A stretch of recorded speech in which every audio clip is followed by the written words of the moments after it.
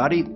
My name is Ben Bowlin, and today we are going to talk about this little guy, which most of you will recognize. Is this too small? Okay.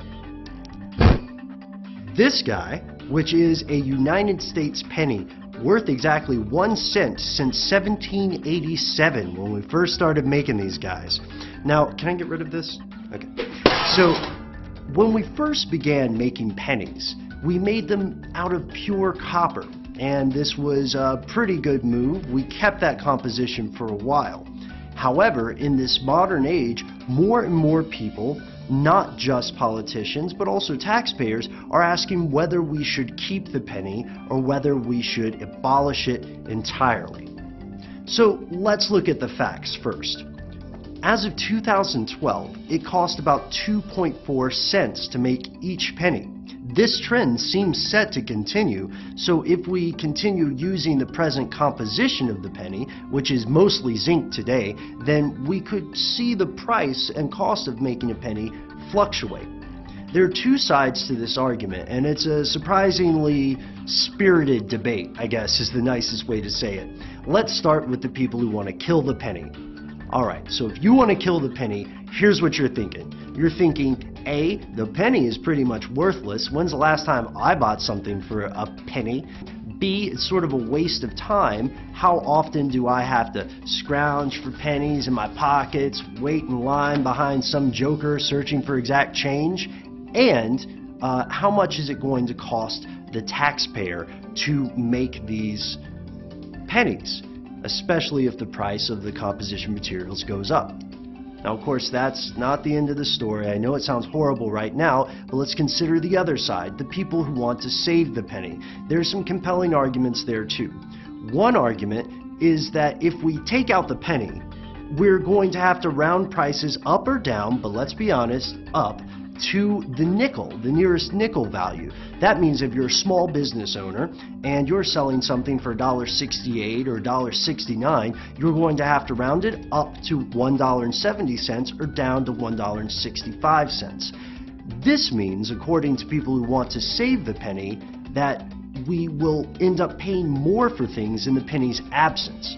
They also say that replacing the nickel in the uh, penny's position as the lowest member of our coinage totem pole uh, means that we'll be spending even more taxpayer money because we'll have to spend 11.7 cents uh, as of 2012 to make each nickel. And if we have to make more nickels to replace pennies, we'll just be digging ourselves further in the hole.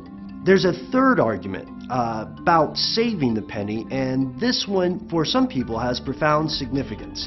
That is the argument of historical precedent, the traditions, the, the very American place of the penny. We have one of our most influential presidents on the face of the penny.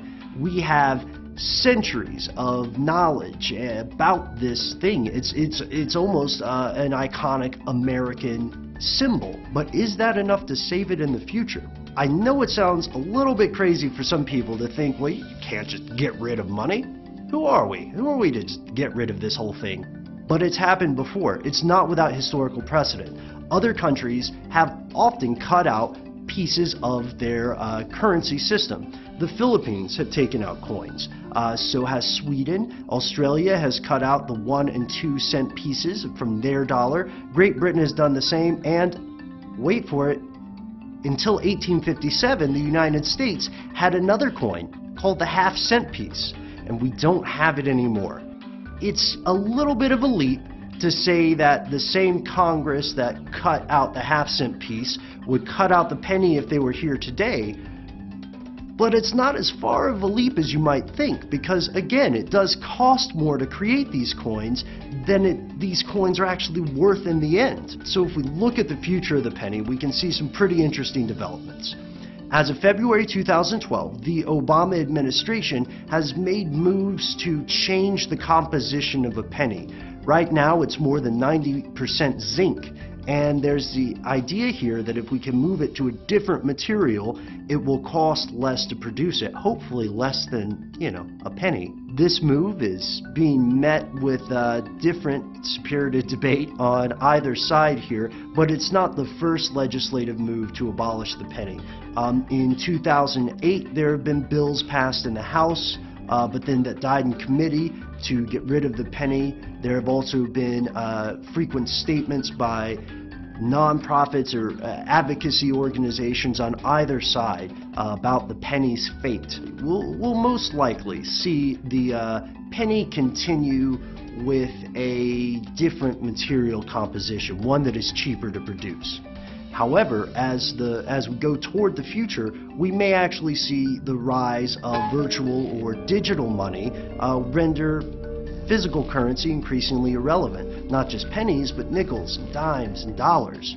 And then there's the kind of scary idea that inflation could continue to a point where pennies are still produced, but people just don't use them. So for now, it seems like the penny is set to stick around despite some of its critics. But in the coming decades, it's anybody's guess.